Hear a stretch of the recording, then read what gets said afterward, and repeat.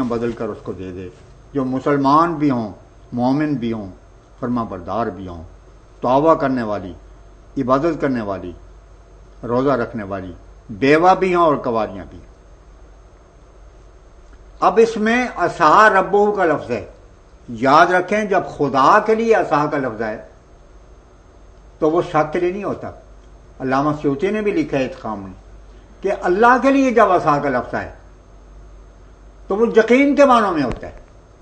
देखें, सूरह बनी इसराइल में अल्लाह ताला फरमाता, साई या बासा का रबो का मकाम महमूदा। करीब है या रसुल्ला कि आपको मकाम महमूद पर फायज किया जाए। अब ये नहीं कह सकते कि जी ये शक वाली बात है। मुमकिन है कि मकाम महमूद ना अदा किया जाए, मगर तमाम मुफसर ये तस्लीम करते हैं और इसके बगैर कोई चारा कार नहीं है। कि इससे मुराद यह है कि यह यकीनी बात है। तो खुदा ने फरमाया, ये यकीनी बात है, ऐसा रबो जिस तरह मोहम्मद बेगम के मुतल भी ने फरमाया था कि ये खुदा का वादा है कि जब उसको तलाक दी जब उसका खामन मर जाएगा तो बेवा होने के बाद ज़रूर मेरे पास आएगी। तो यहाँ उसी यकीन के साथ खुदा ने रसुल्ला को से वादा किया है कि तुम्हारे उस वक्त हजूर इस्लाम के अकद में दो जो बीवियाँ थीं, उनकी तादाद नौ थी हज़रत खदीजा का पहले वसाल हो चुका था सूर्य तालीम से पहले, और हज़रत उमर मसाकिन भी वफात पा चुकी थी। खुद हजूर असलाम ने उनका जनाजा पढ़ा मदीना में और जनतुलबकी में स्कूल दिखा के गई। तो उस वक्त, आ, हज़रत सल्लल्लाहु अलैहि वसल्लम की अकद में जबकि ये सूर्य तहरीम नाजिल हुई। हज़रत सौदा थी, हज़रत आयशा उमुलमोमिन हज़रत सौदा उमुलमोमिन हज़रत आयशा उमुलमोमिन हज़रत हफ्सा उमुलमोमिन हज़रत उम सलमा उमुलमोमिन हज़रत जैनब उमुलमोमिन हज़रत जुवैरिया, हज़रत इब्राहिम की वालदा। और हज़रत उम हबीबा, हज़रत उम हज़रत महमूना और हज़रत सफिया। तो ये नौ थी।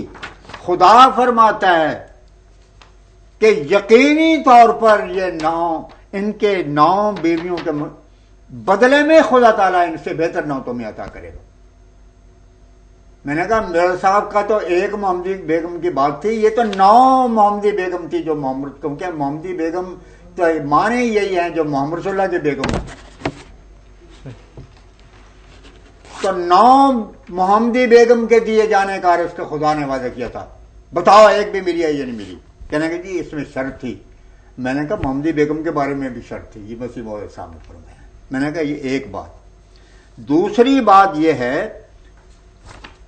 कि ये पेशगोई ऐसी है कि इसका इकरार तो खुद अमीर आपके शरीयत के अमीर, शरीयत आर के अमीर अताउल्ला साहब बुखारी और तमाम आरारी हजरात जो हैं वो करते हैं। कहने के वो कैसे? उन दिनों इमरोज के स्टाफ रिपोर्टर का एक इंटरव्यू अताउल्ला शाह साहब बुखारी से उन्होंने लिया था, वो इमरोज में छाया हुआ।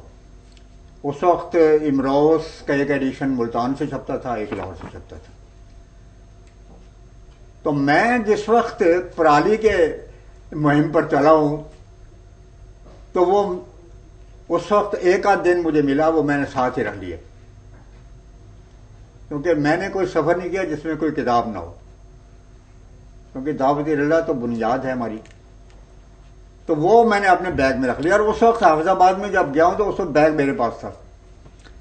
मैंने कहा जी बानिय जमात अहमदिया की पेश गोई इतनी थी, इल्हाम में यमूतो व यबका मिनहुल किलाबुल मुतदा बेल आखिर खुदा की तकदीर यह है कि खानदान में दो नहीं मरेंगे, एक ही मरेगा। यानी मिर्ज़ा अहमद बेग, मोहम्मदी बेगम का वालिद। और चूँकि खामद बचा लिया जाएगा तोबे की वजह से तो ईसाई और उनके हमनवा जितने भी बुल्ला होंगे, वो इस्तेजा करेंगे।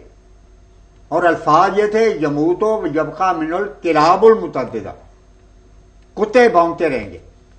ये जो भौंकने का है, ये तो इनकी जुबानों पर चढ़ा हुआ है। ये देखें चौधरी अफजल हक ने एक दफ़ा अपने खुतबात ये खुदबात ये आहरार सफ़ा निन्यानवे में लिखा है, पाकिस्तान की तारीख अलंबरदारों को मुखातब करके, अंदाज़ा करें। कुत्तों को भौंकना, कुत्तों को भौंकता छोड़ दो। हज़रत कायद आज़म भी मुखातब हैं, मुस्लिम लीगी जोमा भी मुखातब हैं, हर पाकिस्तान का तहरीक पाकिस्तान का लंबरदार। ये गलबन उन्नीस सौ इकतालीस, बयालीस की तरीर है। कुत्तों को भौंकता छोड़ दो। कारवान आहरार को अपनी मंजिल की तरफ़ चलने दो। आहरार का वतन लेगी सरमायादार का पाकिस्तान नहीं। आहरार इस पाकिस्तान को प्लेतस्तान समझते यह रेलवे रोड लाहौर की छपी हुई किताब है। और इनके मुआवजे, सौकाल मुआवजे खत्म रोज शोरस ने इसको शाये किया है, वही जनरल सेक्रेटरी थे उसको खैर, मैंने कहा, खुदा के अल्फाज ये थे।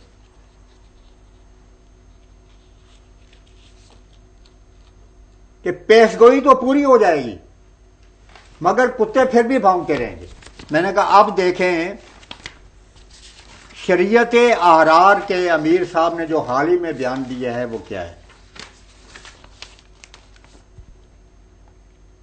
इमरोज का स्पो, स्पो, ये स्टाफ रिपोर्टर कहता है कि मैंने शाह साहब से पूछा यानी सैद शाह साहब बुखारी अमीर शरीयत आर आर आर आर की शरीयत के अमीर। शाह जी, आपको जियाबीतस की शिकायत कब से है? जवाब दिया, ये मर सखर जेल में मेरे साथ आ लगा था, अभी तक संगत निभा रहा है। इन दिनों जबकि आप इस कदर बीमार हैं, ये फारज के हमले की वजह से बेकार हो गए। हज मौलाना अबरताज साहब, मौलाना गुलाम बारी साहब साहब भी मिलने के लिए गए थे। बल्कि लतीफ़ा ये हुआ कि हज मौलाना अबरताज साहब